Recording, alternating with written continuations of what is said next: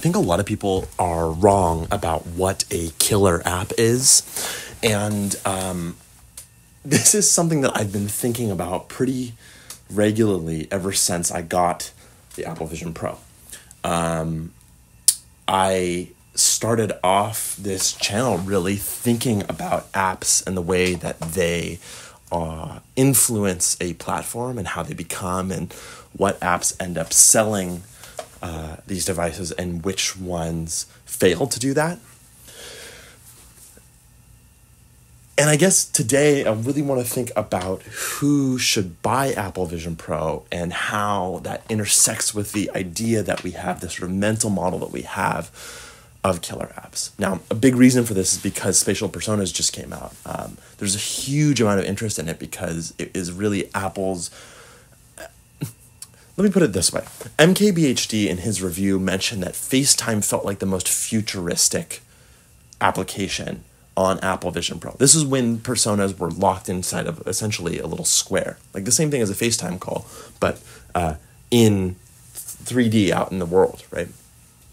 When Apple turned on spatial personas, it changes that. It puts things on its head because what happens is that these personas end up leaving their windows. And like that is really the thing about this device is that it's about the apps leaving their windows. And that is also the thing that killer apps do the best. They unlock a new use case by utilizing a feature of the device that previous forms of computing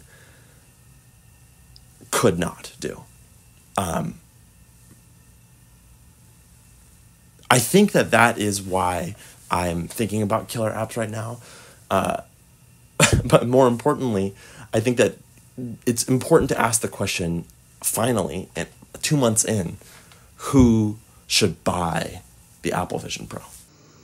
You're about to see a few people learn to use one of the newest, most advanced business computers in the world honestly, like if you ask me, like who should buy the Vision Pro right now, my honest answer is nobody. I wouldn't say that. I would. I honestly, the more the more I've owned it, the more I've shown it to other people, the more we see that there's no content. Who should buy the Vision Pro right now? My answer really is nobody. The computer for the rest of us. No, I would I would disagree. I think it's frequent travelers who do not care about being that person. But it sucks as a travel device. It's too big and clunky. Like it's. Uh, there's, there's no there's no nothing equivalent to that except for other similar product other similar VR products like a, uh, the the VR experience in a plane you need a VR thing to do and the Vision Pro is an expensive one and there are a couple of cheaper ones that are similar but I can see that like it, it, it's it's an early adopter product at this point. So I've had this thing for a couple months now. Um, I've used it pretty regularly, and I've done my best to push the bounds of the device on nearly a daily basis, right? Using native apps, using it with a keyboard, without a keyboard, using traditional apps, using the iPad apps on there, uh, casting my Mac screen and using the Mac virtual display, calling people on uh, FaceTime, both in the situation of uh, calling like someone with an iPhone and so and then also calling people with Apple Vision Pro, and um, I've pushed the bounds of it in social use cases, in individual use cases, and personal use cases, and I've done all of that because that is the exciting thing, and that's why we I created this channel in the first place, right? Is because I figure that this thing represents a shift in the way that we will do computing in the future. And with a new device, I think people underestimate just how many of the little details affect the bigger picture, especially when it comes to a device that is as high profile as this one is, especially in the community. Now, I've hesitated making this video because the answer to the question that we're asking today has kind of continually puzzled me. Uh, like, who is this thing for? Why does it exist? Uh, what does Apple see as as its use case? And uh, you know, a lot of people have called it a developer kit. You know, the most charitable read of this thing is this is a developer kit. Yeah, and so they're going to build all these, and they're and they're yet to come. And and I think that you, if you want to be really fair to this thing, that's how you think about it. But Apple's positioning of the thing, the thing they're asking it to do, the ad they put out is like people wearing it while they're just like hanging out doing laundry, and a call comes in And you're like, what is the value of wearing this if it's not doing anything for you? And the value should be a bunch of AR stuff, not I'm waiting for the phone to ring. And I there's again, there's a real tension between the ambition of the product and how it's being communicated and the reality of the product. Yeah. talk about nostalgia. I don't get nostalgia for the computers. I mean, sometimes I appreciate their design, but again, you I used them all. And they, they they're better now. So it really it's hard to get nostalgic. Like I have a 12 inch PowerBook, which was my favorite Mac of all time. It's so thick. and I, and I'm sure if I used it, it would be so slow using some old version of OS 10. I I do get nostalgic for the feeling I had back then. Yes. and they need to figure out what it's for. And it took them three generations to get there. Mm-hmm. And they totally rebooted the software. And I was like, no one will ever. And like for a long time, people were like, you were just unnecessarily harsh. And this time, like literally, are screenshots comparing my two reviews, Yeah. being like, oh, this is the same exact thing. And I, the only thing I will remind everyone of is one, I was right. I'll always remind you that. No, but two, the the path wasn't set when the thing was launched. I wonder, do you think that this is the kind of thing where they were trying to decide if they were going to release it as a sort of more of a developer kit and try and get more people on board? And then they were waffling between what to do and finally decided to ship it for public release and just don't have enough content. the watch hardware was very close. And then the question is, how do we make this thing into what it ought to be inside of this box? And Apple it- usually gets the box right. In this case, neither one of them is right. I don't know. I because I don't. It's so. I know people have used that phrase "developer kit" so often with this, but that's so unlike Apple. OS 10, I was there at the start.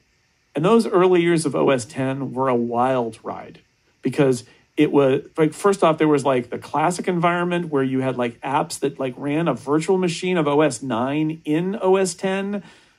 So Apple was virtualizing itself and like it was so weird and that there were like features missing and and then they would add them and then like we did the 10.1 came out and we're like, "Oh, people could maybe use it now. Like, because literally in 10.0, we're like, well, no, I'm using it, but you should not use this, right? And then, or you reboot into OS 9 to get your job done.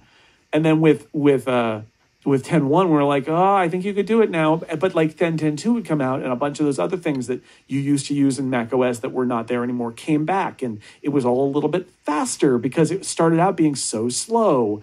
And like I am nostalgic for that era because it was super groundbreaking for the Mac, and that was really fun. And the Mac hasn't been super groundbreaking like that for a while. And this is just like such a developer kit that I keep like I keep thinking about that a lot. Like it feels like such a developer kit. Um, but like that's why I'm excited about Vision Pro. Is like Vision Pro is a, a weird early product. It is it is kind of a developer kit and early adopter kind of thing, and it's going to change and grow and in strange ways. And like that's why I do tech is because it's fun. But like the stuff is so much better that I, I have no nostalgia for using an old slow version of OS 10. Was it Wired that ran the story where Yes. Rony Abovitz was like, "I'm hacking the GPU of your brain"? Yep.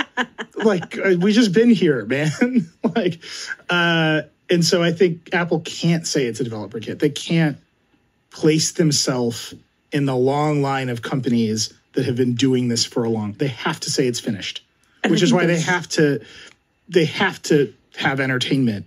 And they have to do this. James Cameron is in that Vanity Fair piece, quoted as saying, "This will change everything." And it's like, dude, you have done more scuba diving VR than anybody. people don't buy computers, they buy apps, right?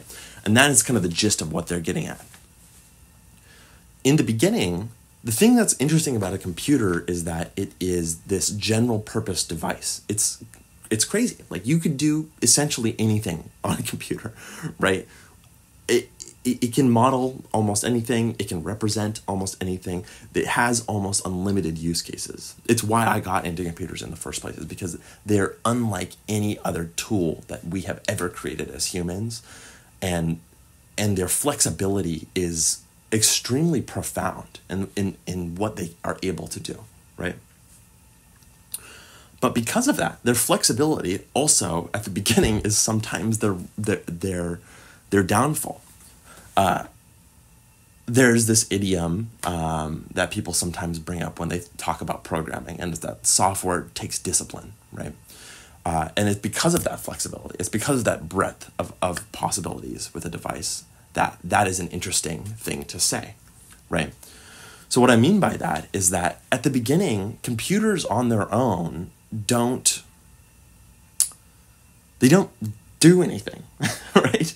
You have to make them do something, and they can do anything, right? Which is the interesting part. But you have to have the discipline to choose the thing that they do. And then ultimately, if you're trying to sell the device to people, those people need to know what the thing can do. So I want you to think back to the iPhone.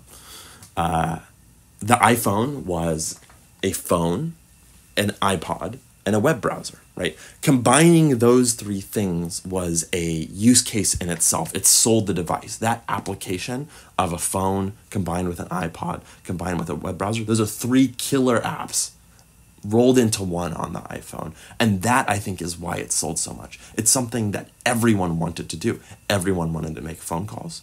Everyone wanted music on the go. And everyone wanted to reach the web. And those were all in a single device. It's kind it was kind of incredible when you think about the things that were rolled together into one product.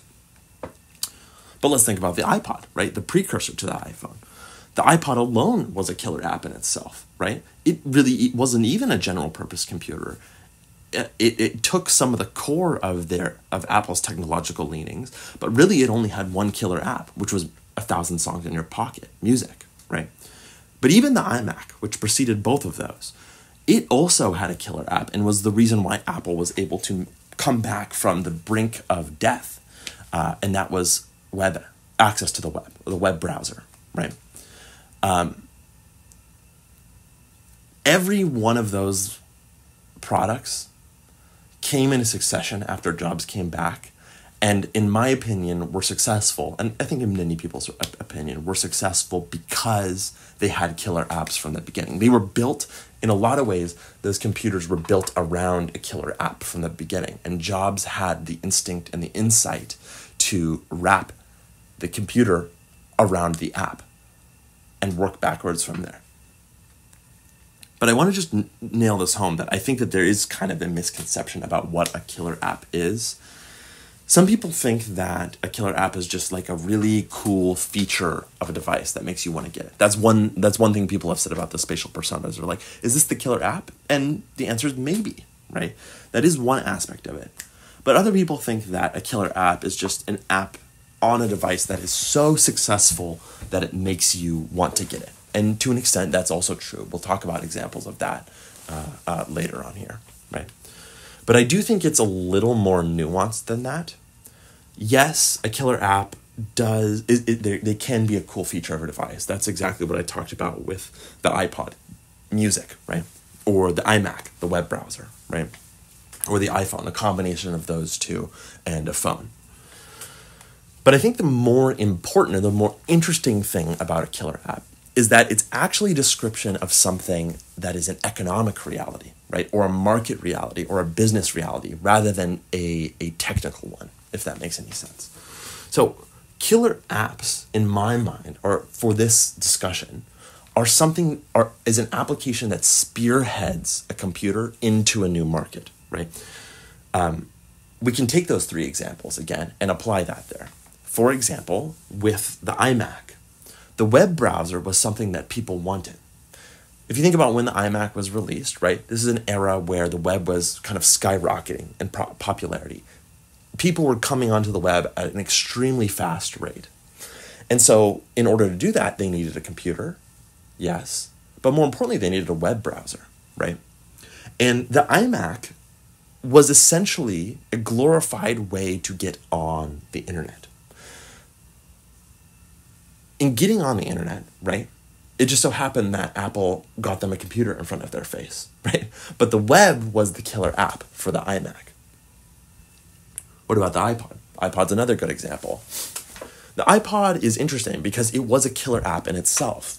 It was selling a music player, a thousand songs in your pocket. And in fact, the iPod wasn't even a general purpose computing device in the same way that the Mac was.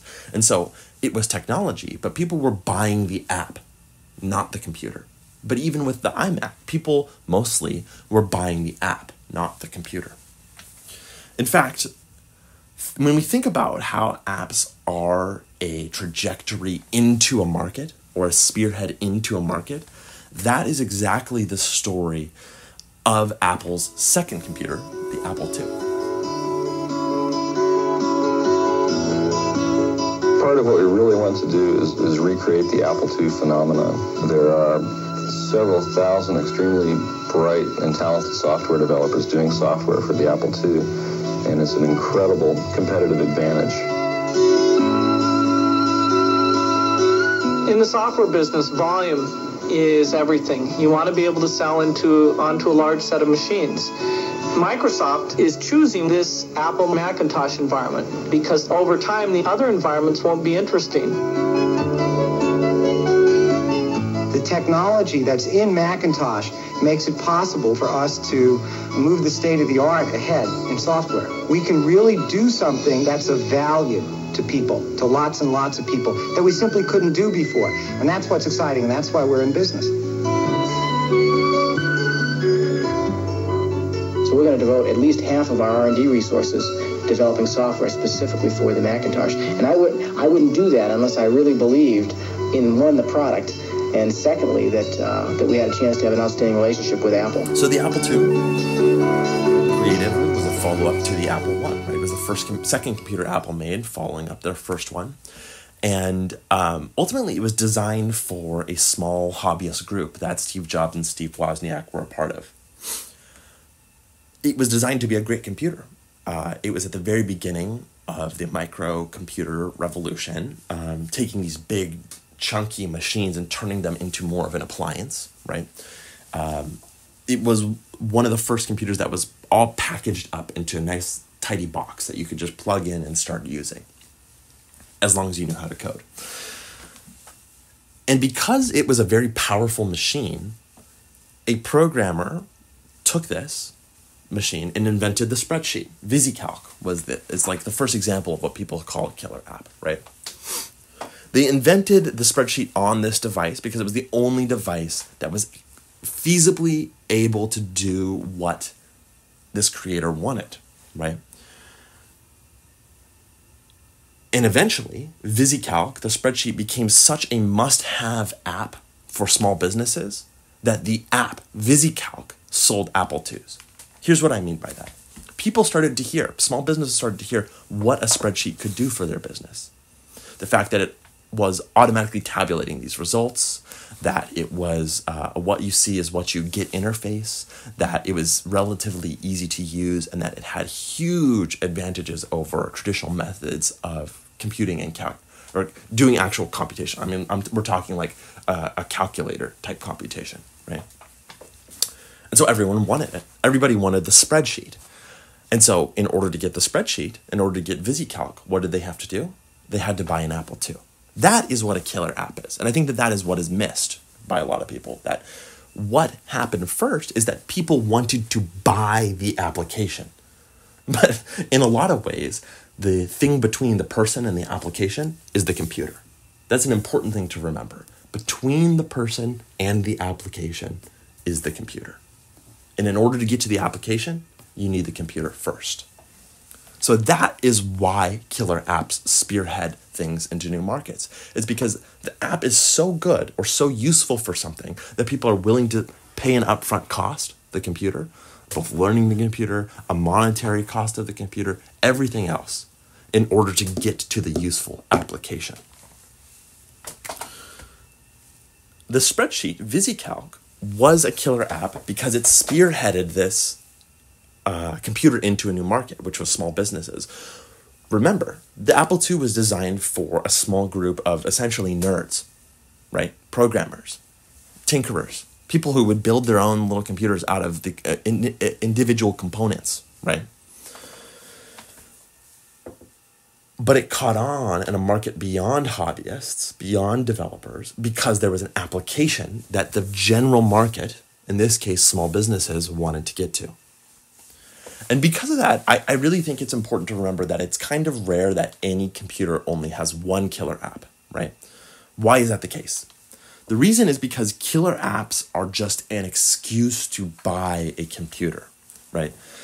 And different markets need different apps, right? So every different every market has a needs a different excuse to buy, right? The hobbyist doesn't buy a computer for the same reason a small business does. And a small business doesn't buy a computer for the same reason that a consumer does. And not every consumer buys a computer for the same reason, right? Just as an example, to go back through history, small businesses bought Apple IIs because it allowed them to do something that they could never do before manage their books and prevent tedious calculations in a interactive and intuitive way publishers bought macs at the beginning because it allowed them to visually edit and print publications without the tedious work of doing that stuff physically desktop publishing. Again people bought imacs because it let them let them easily connect to the web. They could plug it in and connect to the web through the web browser. People bought ipods because it let them carry a thousand songs in their pocket. And people bought iPhones because it let them consolidate all the things that were in their pocket the MP3 player, the phone, and then actually can, beyond that, have access to the web. People buy apps, not computers. Every single one of these devices branched into those new markets because they had an application that spearheaded the hardware into that market. People don't buy computers, they buy apps. But there is one exception to this rule. John, let me just add a little bit to it because it's, it's no accident we did this at WWDC, right? It's a developer conference, right? Right? Yeah. You know, this is the idea is just like our opening video where the thought bubbles, you know, go above developers' heads and they, and they chase those ideas. That's what we want to start here. You know, and you even saw a taste of it. I mean, Susan Prescott in her section showed, you know, uh, PTC doing the that that car, that yeah. Alfa Romeo car. I'm telling you, when you see that in headset, you swear to God it's real. I mean, to the point where you know you're because you can get in it, right? You can get in it, and you're like, why is it not supporting my back? they have so, yeah. Mike's working on that part. Uh, you know, you know, you know, oh, you know it's just unbelievable stuff or that or that assembly line that you put in your room. I mean things remember don't have to be in windows. It's great that a lot of apps work in windows and that's it's amazing and that's you know those all work and like mike said we'll have hundreds of thousands of things that work today that'll go in here and you know microsoft even brought their stuff over. People are excited but the stuff doesn't have to live in windows. You saw the mindfulness app and that's a nice one because it shows you that digital content can be all around you. It can be anywhere. It doesn't have to be put in a, in a rectangle uh, so yeah, we're pretty excited about where it's going to go. We've already had a lot of enterprises already expressing interest. They yeah, and, and, cool. and, we've made this platform extremely easy for folks to develop for. I mean, we put an immense amount of effort in there yeah. for developers. Yeah. So if you're an iOS developer, developers, nerds are the exception, right? Most people don't buy computers because they don't have a use for a computer until there's an app that proves a use for the computer, right? They need apps to prove that the computer is useful. Developers are different though. Hobbyists or enthusiasts are different because they think of the computer as an application in itself. And that's because they can harness the power of the computer, the flexibility of the computer to ends of their own. They're excited about the technology, they want to be on the cutting edge. I made a video uh, about Zuckerberg's approach with Quest um, and Meta's approach, just in general, to what Zuck sees as the metaverse, which is essentially the web for VR. Uh, and I compared it against Apple's approach with Apple Vision Pro and uh, kind of a more subtle, simple, personal approach that Apple is taking. And uh, that became the inspiration for this video, along with the clip at the beginning from ATP. And it sent me down a deep dive. And um, this is what I talked about in the beginning. I have been thinking a lot about what the Apple Vision Pro is most like in Apple's history. What is, in other words, what is the best yardstick to use when thinking about this device? Is it the iPhone? the iPhone is a hugely successful product. It is the best recent example of an Apple product that is sort of the next step in a long trajectory of historical successes for Apple. I think it's tempting. A lot of people, I think, are using the iPhone as a measuring stick, or even the iPad to some extent. But I don't think that's fair.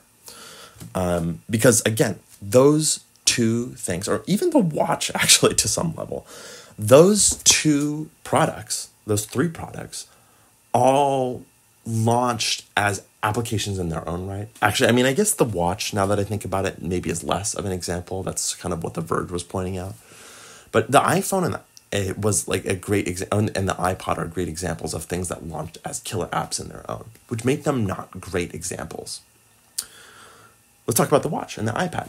The watch was the example that The Verge used, right? And it has not had the same level of impact that the phone or the iPod did, in my opinion, just because of the nature of a watch. There's only so much computing that you can do on a device this size. So, what about the iPad? Well, the iPad, I think, is the closest parallel, and a lot of people have talked about it. I've talked about it before, and this is probably not the video to discuss it necessarily, but it is the closest thing to this device. And I guess I would argue that this is an outgrowth of the iPad. So let's just table the iPad as a, as a discussion for now.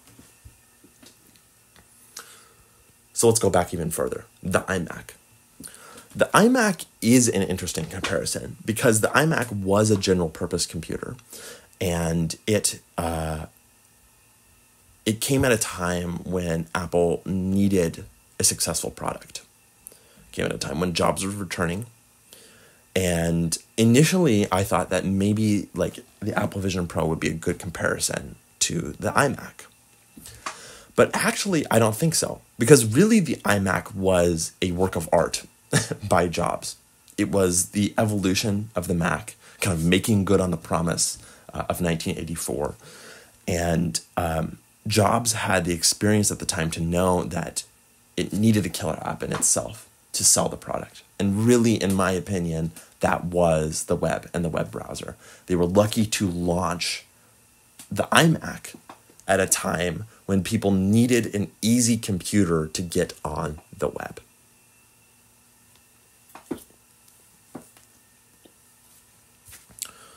But what about further back? So, if the iMac isn't a good comparison, if my initial instinct to compare it to the iMac isn't correct, then what is? Well, we could think about the Mac, and I think the Mac is an interesting one.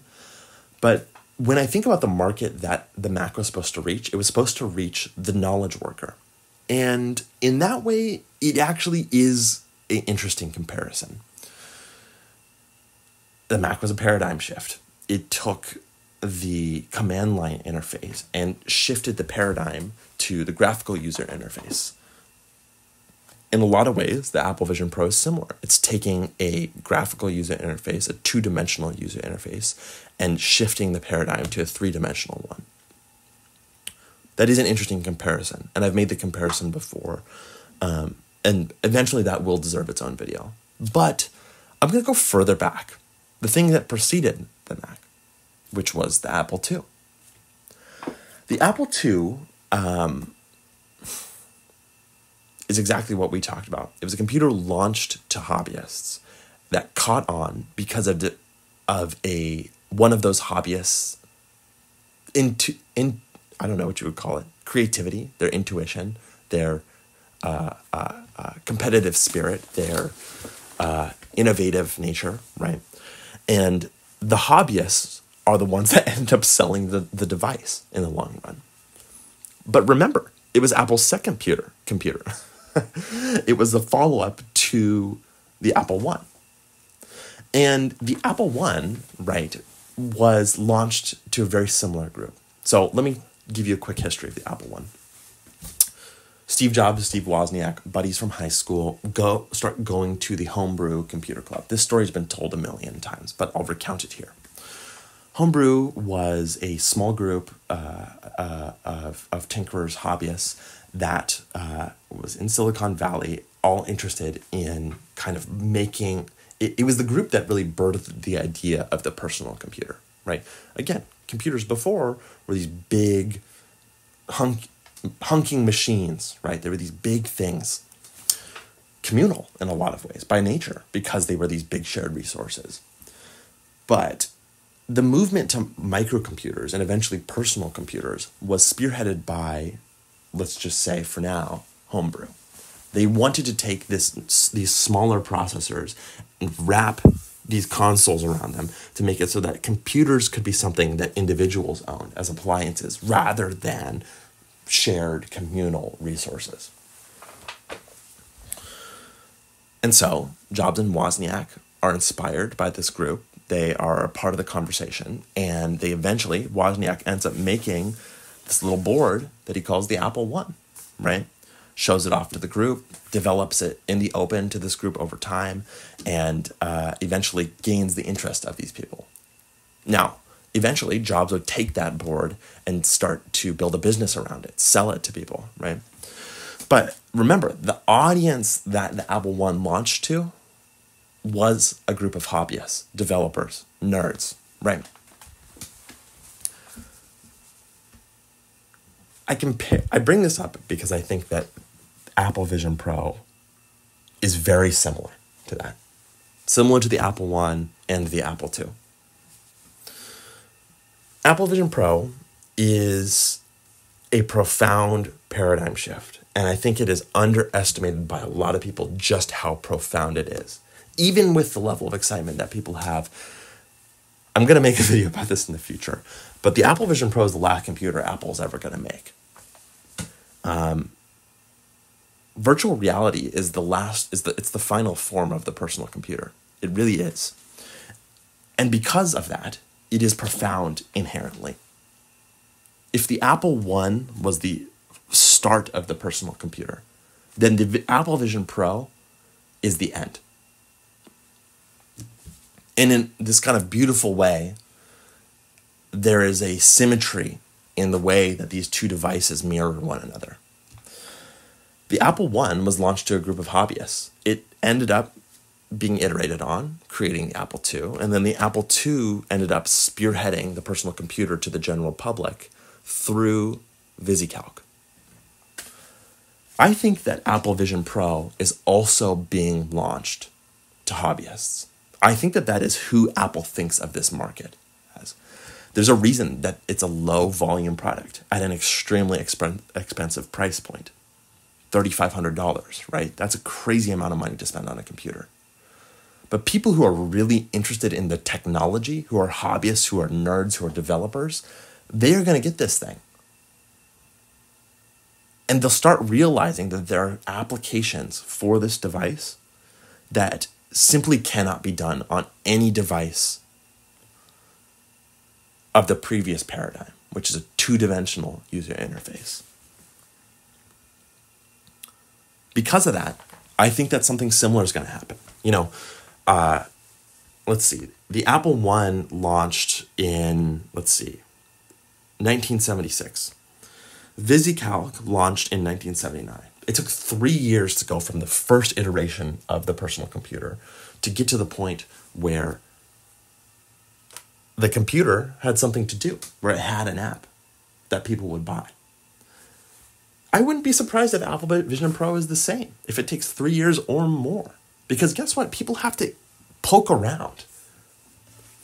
I think that it's Ben Thompson at Stratechery that has talked about kind of the beauty of the name Vision, because this really is how Apple operates when they think about a vision for a product. They have an idea in their mind. They, they put the pedal to the metal and they work from the ground up, building the hard the supply chain, the hardware, and the software to get it to market. That is what a vision is to them. And they, they put their money where their mouth is. They're also willing to run ahead and to fail, to push technological windows open through that hard work. And they're also willing to subsidize the effort of innovating through their previous successes. That is who Apple is at their core. Starting from the Apple One, all the way to the Apple II, through to the Mac, through to the iMac, the iPod, the iPhone, and then the iPad. And now Apple Vision Pro. And because of that, I'm not concerned. So, who is this thing for? Well, I think that Apple thinks it's for hobbyists. A small tidbit to close things out. In the beginning, the Apple One sold for $666.66, and all of the imbued meaning aside, if you take a look at the price of the Apple One when it was released in 2023 dollars, when this thing was, you know, basically being announced, it cost about $3,600, the same price as Apple Vision Pro. So when we talk about symmetry, I really can't help but think that this thing is meant for nerds. And that's just about it.